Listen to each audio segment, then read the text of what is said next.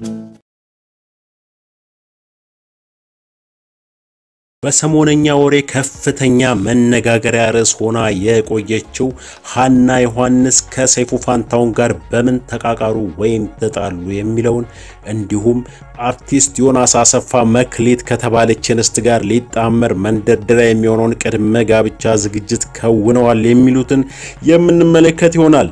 እስከ ፍጻሜው እንድትከታተሉን እየጋበዝኳችሁ ለቻናላችን አዲስ የሆናችሁ subscribe ማድረጋችሁንና የደውል ምልክቷን መንካታችሁን እንዳትረሱ። ያላችሁንም ምክረ ሀሳብ comment ላይ አጋሩን።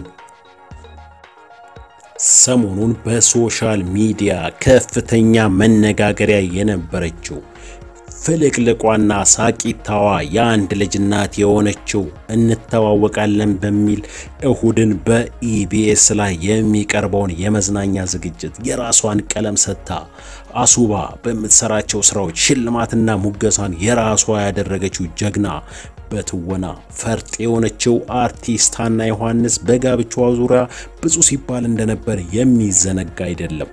እና ታዲያ በዚች እንስት አርቲስት ሀና ዮሐንስና በሰይፉ ፋንታሁን መሃል ምን አይነት ሰይጣን ገባ?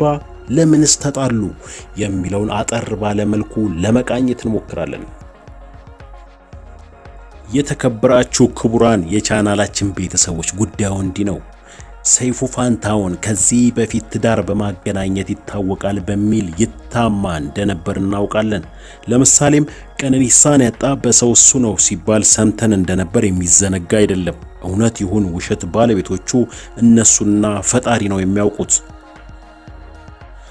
ታዲያ ዛሬም እየወጡ ያሉ መረጃዎች ሰይፍሻን ካለው ታዋቂነትና ሰውን የመግባባትና የማሳመን ችሎታው በብዙዎች ዘንድ ለዚህ አይነት ጉዳይ ተፈላጊ አድርጎታል ይላሉ። አርቲስት ሀና ዮሐንስና ሰይፉ ፋንታሁንንም ያጣላቸው ይሄ ጉዳይ እንደሆነ ሰምተናል። ምክንያቱም አርቲስት ሀና ዮሐንስ ማግባት የምትፈልገው በራሷ መንገድ የምታገኘውን ወንድ እንደሆነ አለበለዚያም single mama ሆና ልጇን ማሳደግ እንደምትመርጥ የቅርብ ጓደኞቿ ይመሰክራሉ።